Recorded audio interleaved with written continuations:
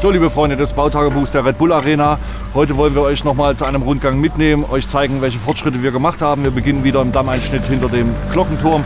Zu meiner linken Seite sehen wir, ist das Gebäude schon in die Höhe gewachsen und zu meiner rechten Seite eben schon gut zu erkennen der Stadion Fanshop, der hier entstehen wird. Oben in beiden Gebäuden auf der Giebelseite die Einschnitte zu erkennen, wo wir wieder eine Brücke einlegen, um die Wallkrone zu schließen. In den nächsten Tagen werden wir dann den Wall von hinten wieder auffüllen und ranarbeiten, um die Gesamtarchitektur wiederherzustellen.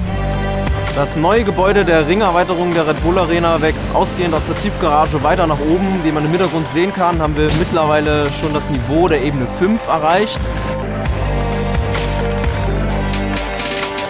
Wo Neues wächst, muss Altes weichen. Da das Gebäude der Ringerweiterung immer mehr in die Höhe wächst, stehen die ersten Bestandskioske im Weg, so wie der hier hinter Block 30. Wenn ihr hoffentlich bald zahlreich in Stadien kommt, werden wir euch an der Stelle mit temporären Catering-Strecken versorgen.